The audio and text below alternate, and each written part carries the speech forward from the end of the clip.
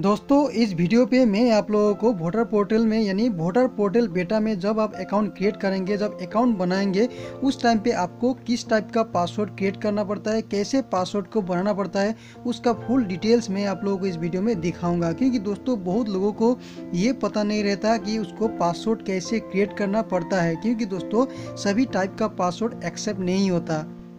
तो चलिए दोस्तों, मैं आप लोगों को स्टार्टिंग से पासवर्ड कैसे क्रिएट करना है उसके बारे में फुल डिटेल्स में दिखाता हूँ। तो दोस्तों, देखिए क्रिएट योर अकाउंट में मैंने क्लिक कर दिया। उसके बाद में देखिए, आपका सामने ये पेज देखने को मिलेगा। यहाँ पे दिखा है, ठीक है register your self by enter email ID और enter ten digit mobile number ठीक है? तो आप, आपका जो जी मेल है ईमेल आईडी है, उससे भी आप, आपका जो अकाउंट क्रिएट कर सकते हैं या तो आपका मोबाइल नंबर रजिस्टर करके भी अकाउंट क्रिएट कर सकते हो और पासवर्ड बना सकते हो। तो मैं यहाँ पे अपना मोबाइल नंबर डालने के बाद में सेंड ओटीपी में गया, ठीक है? तो मैं अपना जो मेरा मोबाइल नंबर था, उस मोबाइल नंबर पे ओटीपी आ चुका है। ठीक है तो आप चाहे जी आपका ईमेल अकाउंट से भी आप बना सकते हैं, नहीं तो आपका मोबाइल नंबर से भी जो ओटीपी जनरेट कर सकते हो। ठीक है तो मैं यहाँ पे अपना मोबाइल नंबर पे जो ओ टी आता यहाँ पे मैं अभी डाल दिया। ये मोबाइल नंबर पर जो ओटीपी था वही ओ डालने के बाद में देखिए, आपका सामने वेरीफाई का ऑप्शन मिलेगा। ठीक है तो वेरीफाई आपको कर देना है। ठीक है तो ये जो वेरीफाई है, ये वेरीफाई में जाके आपको वेरीफाई करना है। ठीक है तो वेरीफाई करने के बाद में देखिए, आपका सामने ठीक है, इस तरह का कुछ ऑप्शन दिखने को मिलेगा, ठीक है? तो वेरीफाई हो चुका है। वेरीफाई होने के बाद देखिए, ये देखिए सक्सेस ठीक है? तो देखिए, अभी ये पेज ओपन हो गया, ठीक है? तो क्रिएट पासवर्ड ठीक है? अभी यहाँ पे सबसे ध्यान देने वाली आपको यहीं पे है, ठीक है? जब आप पासवर्ड अपना जो पासवर्ड चूज़ करते हो, ठीक है? तो पासवर्ड चूज़ करते वक्त आपको कैसा पासवर्ड डालना होगा, ठीक है? तो यहाँ पे आपको ध्यान देना होगा, ठीक है? तो लोग यहीं पे गलत गलती कर देता है और अपना जो पासवर्ड था, वो पासवर्ड बना नहीं पाता।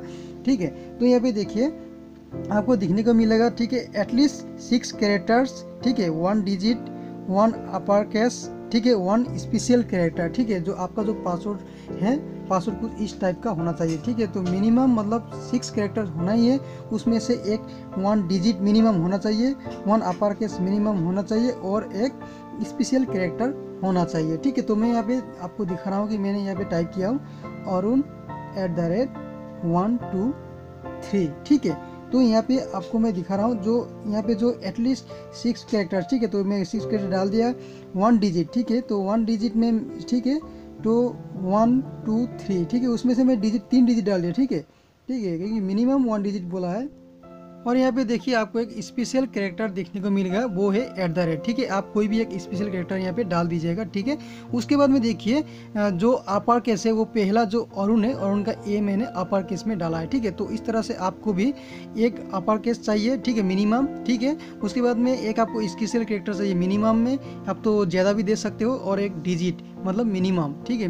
मैक्सिमम आप कुछ भी दे सकते हो, दो, तीन, कुछ भी डिजिट दे सकते हो, ठीक है? तो इस तरह से आपको पासवर्ड क्रिएट करना है, ठीक है? तो उसके बाद नीचे में आपको जो ऊपर का पासवर्ड था, ठीक है, पहला वाला पासवर्ड वो दोबारा से डाल के कन्फर्म करना है। उसके बाद में देखिए, ये जो मैथ्स है नीचे का थर्टीन प्लस सिक्स इसको आपको सॉल्व करके, ठीक है, नीचे का जो ऑप्शन दिखाई दे रहा है we have our terms of service में आपको टिक करना है, ठीक है टिक करने के बाद में, ठीक है, इसमें टिक कीजिए, उसके बाद में आपको फिर से स्क्रूल डाउन कीजिए और क्रिएट अकाउंट में जाके आपको, ठीक है प्रेस कर देना है, ठीक है क्रिएट अकाउंट में प्रेस करते ही आपका जो पासवर्ड था वो क्रिएट हो गया। मतलब वोटर पोर्टल बेटा में वोटर पोर्टल में आपका पासवर्ड रेडी हो चुका है क्रिएट हो गया, ठीक है? तो उसी पासवर्ड से आप दोबारा लॉगिन कर सकते हो, ठीक है? तो देखिए welcome to the voter portal ठीक है? तो आप वेलकम में जाके क्लिक कीजिए, आपका जो प्रोफ़ाइल था प्रोफ़ाइल ठीक है? प्रोफ़ाइल देखने को मिल जाएगा, ठीक है? तो मैंने वेलकम में क्लिक किया अभी।